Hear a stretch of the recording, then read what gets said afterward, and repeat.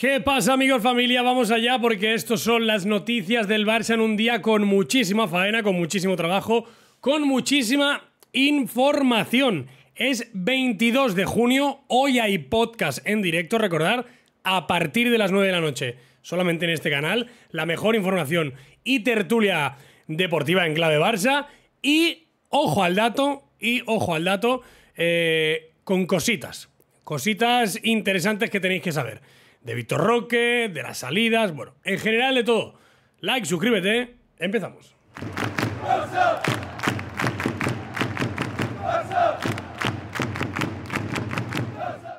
¿Qué tal? ¿Cómo estáis? Bienvenidos, bienvenidas una más aquí a Más que Pelotas, como siempre, como siempre, en este nuevo vídeo, en esta nueva entrega de las Más que Noticias, ¿eh? Fijaos si es chula la nueva camiseta, ¿eh? Mira, y aquí se ve lo del rombito, ¿no? Depende cómo va así con la luz, a ver. Bueno, aquí se ha visto un poco. Mira, mira, mira. Ahí, ahí. Eh, está chulísima, chulísima. Ya está disponible en la web del Barça, ya lo sabéis.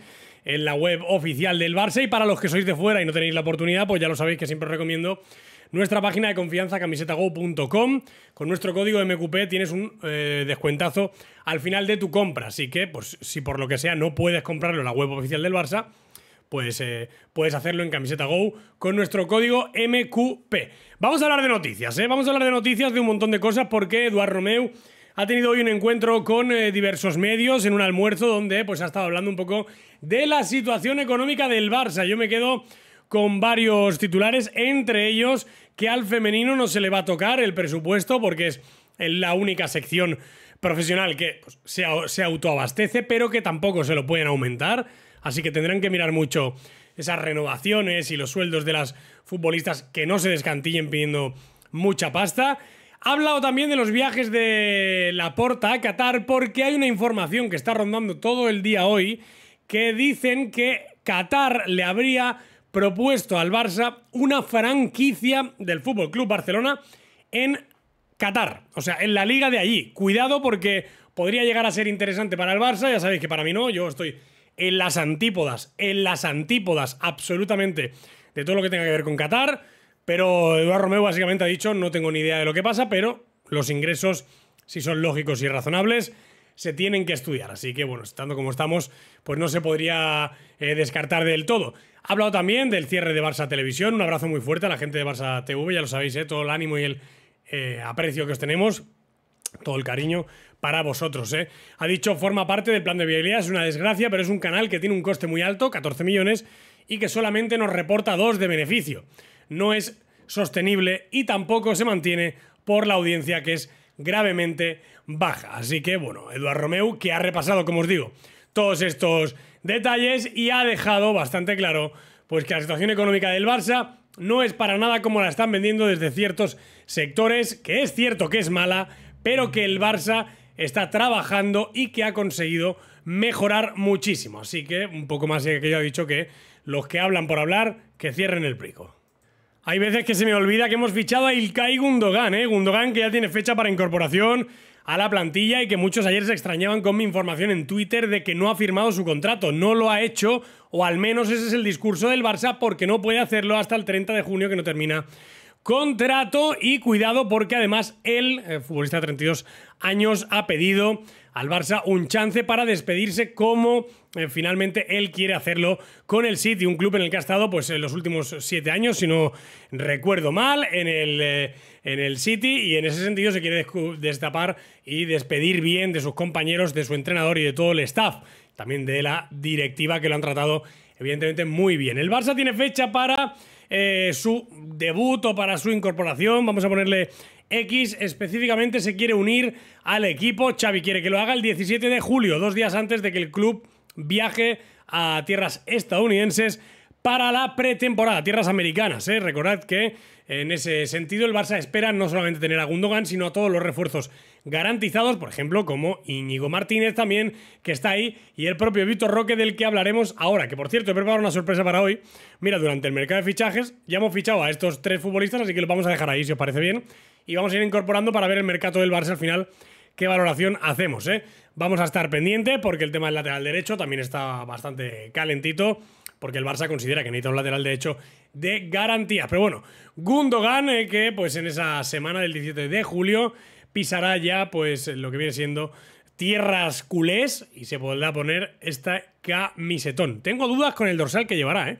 Yo creo que le van a dar el 5, ¿no? Por nombre y eso. Es que con, el 14 no lo veo, ¿no? No creo que venda camisetas con el 14. O sea, al final, ¿eh? estas camisetas de super cracks se venden siempre con números cortos. En fin, que lo tengáis claro. 17 de julio, de julio fecha límite para estos fichajes, que por cierto en la, hay una cláusula en el contrato de Gundogan que especifica que si no se le ha podido inscribir antes de ese día, el Barça le pagará y podrá seguir siendo libre. Pero vamos, que desde el club aseguran que está todo, pues, tranquilos, vamos, tranquilos.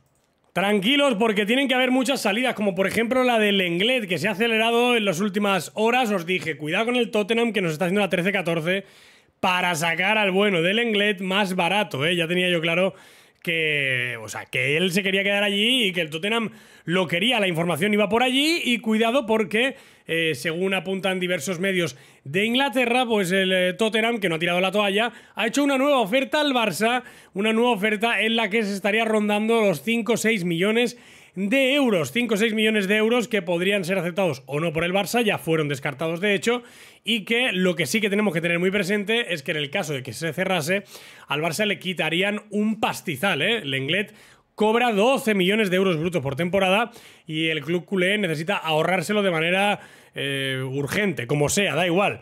Entonces, todo esto, que además tiene contrato hasta 2026, hace que las prisas sean las que son.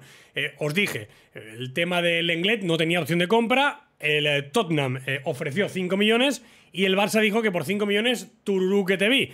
En ese sentido, parece ser que están insistiendo en esa oferta y habrían aumentado pocos millones más. Yo creo que finalmente el Barça tendrá que venderlo aproximadamente entre eso, ¿no? 10 millones como mucho creo yo que podemos pedir. Eso sí, en Barcelona no se ve con malos ojos un trueque de jugadores que incluya a Giovanni Lo Celso. 5 millones y lo Celso, lo firma todo el mundo porque además pues sube bastante la calidad de la plantilla. A mí eso me cuadra más que que te paguen 5 millones por el inglés, por mucho que te tenga que quitar el sueldo. Que vamos, es que al final va a aparecer esto, el mercadillo de la Trinidad Nova. ¿Cómo está el Tigriño este año? No sé si lleva ya 13 goles. Gol ayer otra vez, detalles de calidad y vídeos por las redes sociales, regateando, tirando caño. Bueno, una barbaridad. Todo el mundo está hablando maravillas de este chaval al que comparan con Ronaldo. Yo pido calma, ya lo sabéis.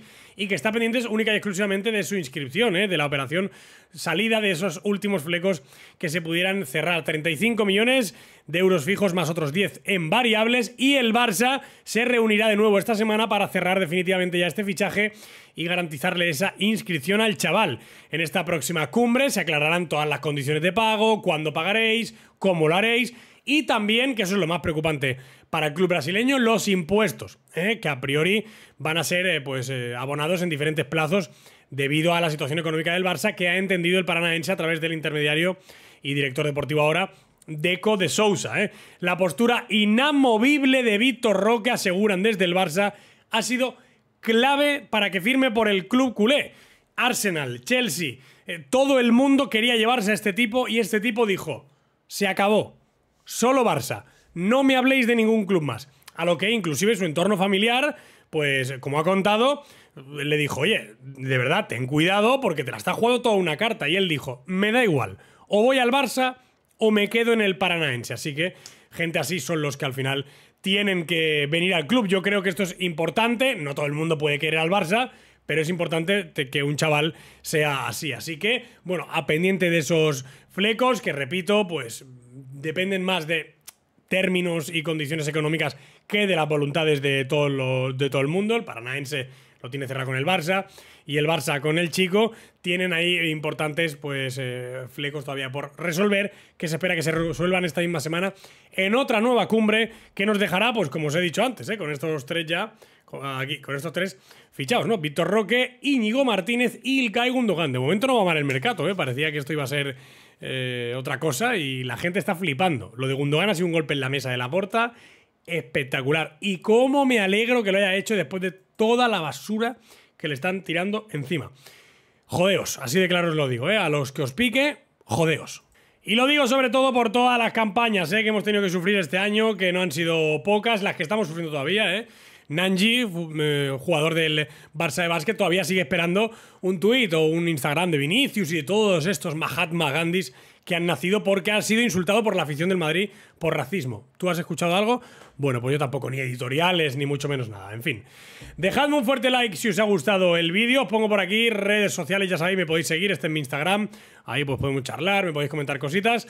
Y nada, suscribiros a este canal si no queréis perder nada de la actualidad del Barça. ¿eh? Nos vemos en la última hora y también, como siempre, en el directo de esta noche. ¿eh? Va a estar intensito. Hasta luego.